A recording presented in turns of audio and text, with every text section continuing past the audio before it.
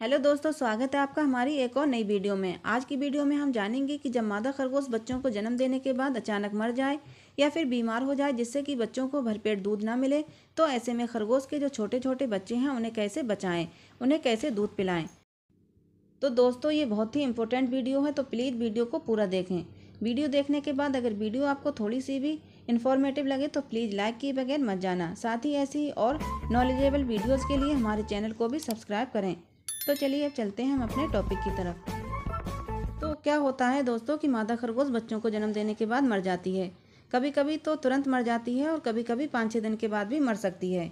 कभी कभी क्या होता है कि मादा खरगोश मरती नहीं है, लेकिन किसी कारणवश वो बच्चों के लिए इतना दूध जनरेट नहीं कर पाती है जितना बच्चों को चाहिए।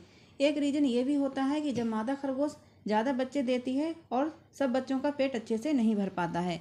तो ऐसे में हमारे सामने प्रॉब्लम क्रिएट होती है कि मादा खरगोश तो मर गई, लेकिन अब बच्चों को कैसे बचाया जाए?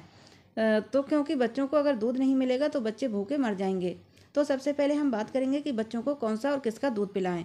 बच्चों के लिए सबसे अच्छा दूध कौन सा रहेगा, जिसमें बच्चों के लिए प्रोटीन भी हो और बच्चों का पेट भी खराब ना हो? तो यहाँ पर मैं आपको बकरी का दूध सजेस्ट करूँगी क्योंकि बकरी के दूध में प्रोटीन भरपूर मात्रा में होता है, जो रैबिट के बच्चों के लिए बहुत ही ज़्यादा फ़ायदेमंद होता है। गाय और भैंस का दूध कभी भी रैबिट के बच्चों को ना पिलाएँ और ना ही थैली वाला दूध पिलाएँ, क्योंकि गाय भैंस का दूध रैबिट के बच्चे डाइजेस्ट नहीं कर पाएँगे और फिर वो मर भी सकते हैं। अगर आपके पास बकरी का दूध अवेलेबल नहीं है तो आप किसी पेट शॉप से भी रैबिट के बच्चे के लिए दूध परचेज कर सकते हैं। वहाँ पर पेट बेबीज़ के लिए दूध अवेलेबल होता है। दरअसल ये दूध बकरी या बिल्ली का होता है, जो स्पेशली पेट बेबीज़ के लिए ही तैयार किया जाता है। तो आप ये दूध पेट शॉप से खरीद सकते हैं और अपने रैबिट के बच्चों को पिला सकते हैं। अगर पेट शॉप पर भी आपको दूध ना मिल पाए, तब आप मजबूरी में गाय का दूध ले सकते हैं। लास्ट ऑप्शन पर भैंस का दूध लें। गाय भैंस के दूध को उबाल कर उसकी अच्छे से मलाई हटा दें, तभी ये दूध बच्चों को पिलाएँ। तो ये तो हो गया कि कौन सा दूध पिलाना चाहिए। और अब बात करते हैं कि कैसे पिलाएँ, क्योंकि खरगोश के बच्चे बहुत ही छोटे होते हैं और वो अपने आप से दूध नहीं पी सकते।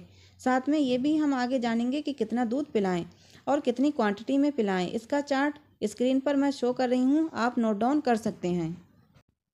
तो दोस्तों न्यू बॉर्न से एक हफ़्ते तक के बच्चे को दो से दो पॉइंट पाँच मिलीलीटर दूध दें।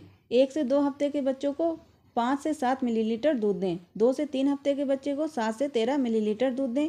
तीन से छः हफ़्ते के बच्चे को तेरह से पंद्रह मिलीलीटर दूध दें और आपको दिन में दो बार बच्चों को दूध पिलाना है। तो इस तरह बताई हुई क्वांटिटी में बच्चों को दूध दें। धीरे धीरे बच्चे ग्रोथ करते जाएँगे और धीरे धीरे खुद से खाना भी शुरू कर देंगे। अब बात करते हैं कि कैसे दें, क्योंकि इतने छोटे बच्चे खुद से दूध नहीं पी सकते। तो इसके लिए आप क्या करें कि एक पतली लकड़ी ले लें या एक तीली ले लें और उस पर साफ़ कॉटन लपेट लें, या फिर आप एयरबड का भी यूज़ कर सकते हैं। अगर एयरबड ना मिले तो आप किसी तीली पर ही कॉटन लपेट लें। कॉटन एकदम साफ़ सुथरी लें, गंदी ना हो। अब एक कटोरी में दूध लें और उसमें उस तीली या बर्ड को उस दूध में डुबोकर खरगोश के बच्चे के मुँह में आराम से रख दें। खरगोश का बच्चा खुद ही धीरे धीरे उस कॉटन को चूसने लगेगा और जब तक उसका दूध खत्म नहीं हो जाता, तब तक आप उसे दूध पिलाते रहें। दूध पिलाने के बाद बच्चे के पेट को देखकर पता लगा सकते हैं कि बच्चे का पेट भर चुका है। दो से तीन हफ़्ते के बच्चे को आप उस रेंज में भरकर भी दूध पिला सकते हैं। इतने बड़े बच्चे बाउल से भी दूध पी सकते हैं। लेकिन दोस्तों बच्चों को दूध पिलाते समय एक बात का ध्यान रखें। जो कॉटन आप लकड़ी या तीली पर लपेटें, उसे टाइट करके लपेटें, जिससे कि कॉटन बच्चों के मुँह में ही ना रह जाए। तो दोस्तों, ये वीडियो आपको कैसा लगा, कमेंट करके ज़रूर बताना।